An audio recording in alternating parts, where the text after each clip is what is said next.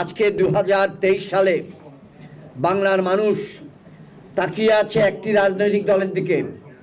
সেই রাজনৈতিক দলের নাম বিএনপি এবং বিএনপির মধ্যেও বাংলার মানুষ তাকিয়ে আছে তার বর্তমান মহাসচিব জনাব মির্জা ফখরুল ইসলাম আলমগীরের দিকে।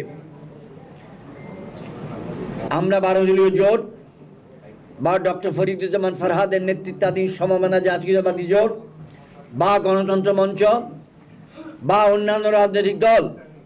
আমরা যে যেখানেই থাকি না কেন, আমরা তাকিয়ে আছি কিন্তু একটি বিন্দুর দিকে। একটা বড় বৃত্তের দিকে তাকাচ্ছি না, একটা বিন্দুর দিকে তাকাচ্ছি। এবং সেই বিন্দুতে অবস্থানকারী ব্যক্তি জানা মির্জা ফখরুল ইসলাম আলমগীর। অতএব, আমিও কি বলতে পারি না যে বাংলাদেশের তিপ্পান্ন বছরের ইতিহাসে কোনোদিন এত বেশি জনসংখ্যা, এত বেশি নাগরিক একজন ব্যক্তির দিকে তাকিয়ে ছিল না, যেমনটি আজকে দু হাজার তেইশ সালের আগস্ট মাসে চব্বিশ তেইশ তারিখে মানুষ তাকিয়ে আছে। সেই আশা পূরণ করার দক্ষতা, সেই আশা পূরণ করার অভিজ্ঞতা, সেই আশা পূরণ করার সাহস জনাব মির্জা ফখরুল ইসলাম আলমগীরকে মহান আল্লাহ দিবেন, এইটুকু আমাদের প্রার্থনা। আমি জনাব মির্জা ফখরুল ইসলাম আলমগীর সম্বন্ধে খালি একটা বিশেষণ বলব। সেই বিশেষণটা হলো নূর। সেই বিশেষণটা হলো এই যে আপনি সংগ্রামী, আপনি ত্যাগী, আপনি অধ্যবসায়ী, আপনি মেধাবী, এই সব কিছুকে জমা রেখে বাংলার মানুষ মির্জা ফখরুল ইসলাম আলমগীরের জন্য একটা বিশেষণ আজকে ব্যবহার করবে।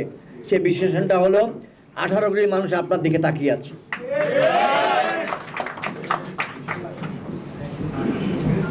আমি একটা ইংরেজি উক্তি ব্যবহার করছি, সঠিক শব্দগুলো দু একটা এদিক ওদিক হয়ে যেতে পারে। উনিশশো চুয়াল্লিশ সালে নাইনটিন ব্রিটিশ পার্লামেন্টে তৎকালীন ব্রিটেনের যুদ্ধকালীন প্রধানমন্ত্রী উইনস্টন চার্চিল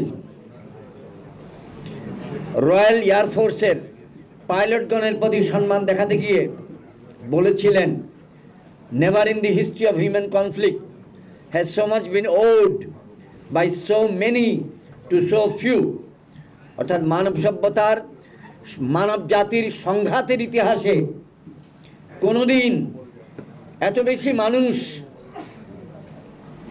অতি এত কম মানুষের নিকট এত বেশি কৃতজ্ঞ হতে পারে নাই। কারণ দ্বিতীয় বিশ্বযুদ্ধে জার্মানি বা জার্মান অক্ষ- অক্ষশক্তির সামরিক বাহিনীগুলো ইংল্যান্ডের উপরে এসে আক্রমণ করতে পারে নাই, তাদের বিমান বাহিনীও পারে নাই, কারণ রয়্যাল এয়ারফোর্সের দক্ষ জীবন ত্যাগী পাইলটদের কারণে।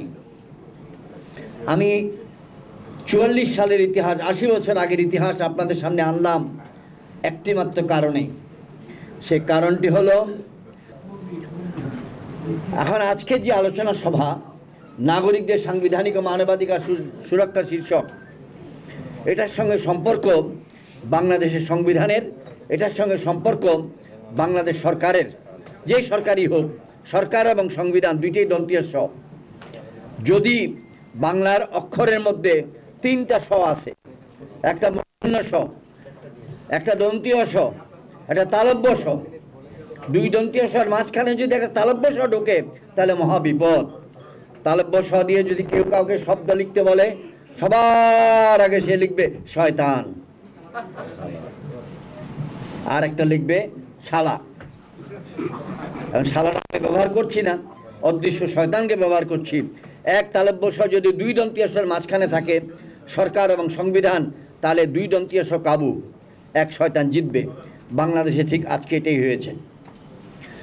আমরা বাংলাদেশের সংবিধান, আপনাদের যারা তরুণ প্রজন্ম, আপনাদেরকে বলতে চাই যে আপনারা মেহরবানি করে বাংলাদেশের সংবিধানটি বাজার থেকে কিনতে চেষ্টা করবেন। একটি সময় ছিল যখন বাংলাদেশের সংবিধান বাজারে পাওয়া যেত না। আজকেও এমন একটি সময় এসছে যখন বাংলাদেশের সংবিধান পাওয়া মুশকিল। আপনাদের সামনে একটি সংবিধান তুলে ধরছি দেখানোর জন্যে, যেটা রং এবং এটার আকৃতি কীরকম হয়। রংটা সাদা, সোনালি রঙের লেখা সংবিধান, মোটা আধা ইঞ্চি। এ ফোর সাইজও নয়, তার থেকে কম পৃষ্ঠার সাইজ এই বইটার সর্বশেষ মুদ্রণ দু হাজার ষোলো সালে। Two April. এরপরে এই বই আর মুদ্রিত এখন পর্যন্ত হয় নাই। হয়েছে আটটা বাইরেছে আচ্ছা এখন চোখে পড়ে নাই। ওকে। আমি এই জন্য বললাম যে কোনো একটা সময় আসতে পারে বাজার থেকে সকল মুদ্রিত সংবিধান উদাও হয়ে যাবে। তখন আপনারা খুঁজে পাবেন না। এই জন্য প্রত্যেক সচেতন ব্যক্তি যেন একটি সংবিধান নিজের কাছে রাখে। এবং এর একটা ছোট ছোট আকারে হয় চার ইঞ্চি বা চার ইঞ্চি। মহাসচিবরা চলে যাবেন। এই গণ অধিকার পরিষদ আমার কাছে একটি প্রিয় সংগঠন। এর কারণ হলো, সেখানে আমার মতো বৃদ্ধ বা প্রবীণরা নাই। সেখানে কেউই নাই যে বলবে আজকে হাঁটু ব্যথা করছে, আগামীকাল বলবে মাথা ব্যথা করছে, পরের দিন বলবে নাতির ওষুধ তারপরের দিন বলবে তোমার নানির তো হাসপাতালে নিতে হবে। আমার তো আজকে অপারেশন আছে। এই সকল অজুহাত, কারণ কোনোদিন ওনারা দিবেন না। কারণ সেখানে যারা এই মুহূর্তে আছেন, অন্ততপক্ষে ডাকসুর সব- সাবেক ভিপি নুরুল হক নূর এবং মোহাম্মদ রাশেদ খানের নেতৃত্বে যারা আছেন, সেখানে বয়স সর্বোচ্চ পঁয়ত্রিশ। বাকিরা তার থেকে ছোট। জনাব মির্জা ফখরুল ইসলাম আলমগীর ওনাকে সম্বোধন করতে গিয়ে আজকের এই আলোচনা সভায় বহু ব্যক্তি বহু বিভিন্ন প্রকারের বিশেষণ ব্যবহার করেছেন। রাজপথের সংগ্রামী নেতা অধ্যাবয়সী নেতা ইত্যাদি। জন্য অনুগ্রহপূর্বক সংক্ষিপ্ত করতে বলেছেন। আমি সংক্ষিপ্তই করব। অর্ধেক কথা মাননীয় মহাসচিবকে নিয়ে বলেছি। আর যা আমি বলি নাই সেটা মাননীয় মহাসচিব বলে দিবেন।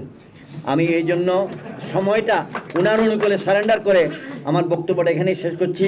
আল্লাহ হাফেজ আসসালামু আলাইকুম। রহিম। পড়ে যাবে? না দিতে পারেন খুলবেন এটা? এটা খুলে দাও। খুব টেনশনে পড়ে দাও টেনশনে পড়ে গেছে। এই একজনের ধরেন ওকে ওকে ওকে ওকে ওকে। কিন্তু এই না এই যে এই যে ওকে। এখন it's all right thank you এখন ঠিক আছে আওয়াজ আলহামদুলিল্লাহ। বসান।